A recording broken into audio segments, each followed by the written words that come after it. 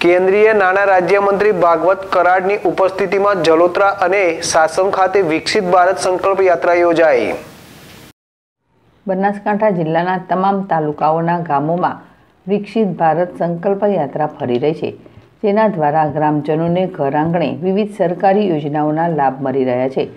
ભારત સરકારના નાણાં રાજ્યમંત્રી ભાગવત કરાડની ઉપસ્થિતિમાં વડગામ તાલુકાના ચલોત્રા અને પાલનપુર તાલુકાના સાસમ ખાતે વિકસિત ભારત સંકલ્પ યાત્રાનો રથ આવતા ગ્રામજનોએ સ્વાગત કર્યું હતું. કેન્દ્રીય નાણાં રાજ્યમંત્રી ભાગવત કરાડે જણાવ્યું હતું કે નરેન્દ્રભાઈ મોદીએ પ્રધાનમંત્રી બન્યા બાદ દેશની તસવીર અને તકદીર બદલી દીધી છે. તેઓએ રાષ્ટ્રને ભ્રષ્ટાચાર મુક્ત અને આતંકવાદ મુક્ત નેતૃત્વ પૂરું પાડ્યું છે.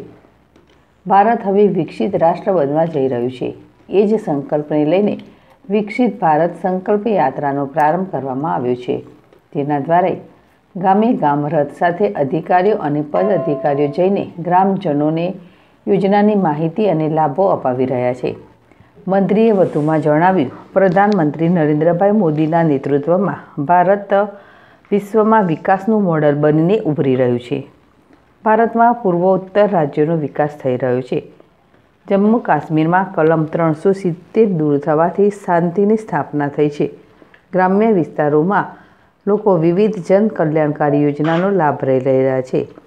નરેન્દ્રભાઈ મોદીના નેતૃત્વમાં દેશની શાન વધી છે.